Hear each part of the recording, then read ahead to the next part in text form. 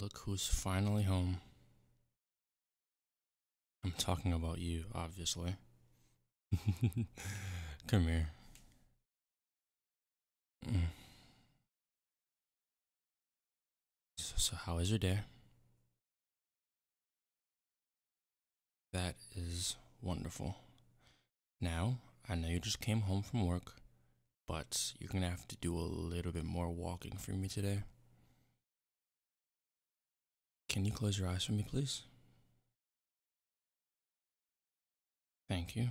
Now follow my hand. Come on, come on. I'm not going to lead you into a wall. You can trust me. Okay, you're almost there. One more step. Open now. Surprise.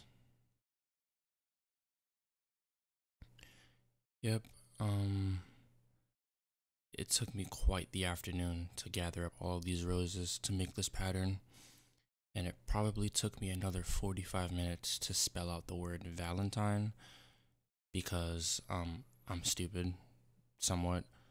I don't know how I messed it up so many times, but I managed to.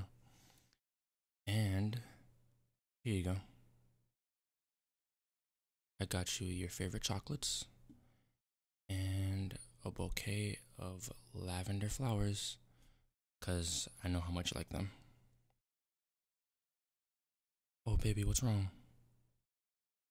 Why are you crying? None of your other partners ever gave you anything for Valentine's Day? Well, I'm different. And I'm not like any other partner. I'm gonna be your partner forever. So you're gonna have to get used to it. now, I know you did work all day today, so I've prepared something special. I have your favorite season of your favorite show sitting on the TV right now on pause. I bought two different onesies. Well, they're not different, but one for you, one for me. And I was thinking that we could binge watch your favorite season while wearing matching onesies while cuddling on the couch. Does that sound like a plan? Yes? Oh, lovely.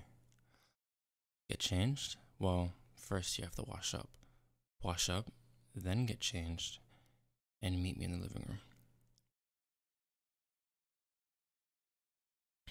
Whoa.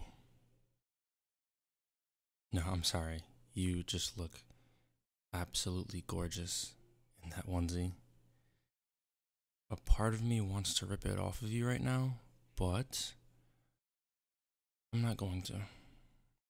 So, come here. I have a spot for you right here.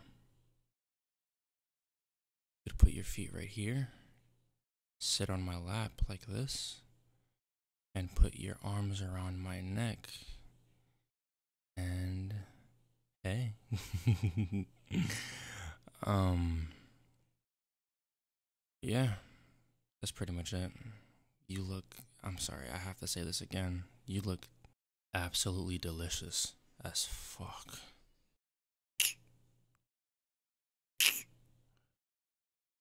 Nothing crazy. I'm just kissing your neck. Oh, baby. Just because I kissed you on your neck does not mean you have to kiss me on mine. You.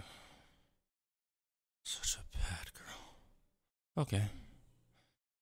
Let's finish two episodes. And then I will drag you into that bedroom. And I'll show you everything you want to see.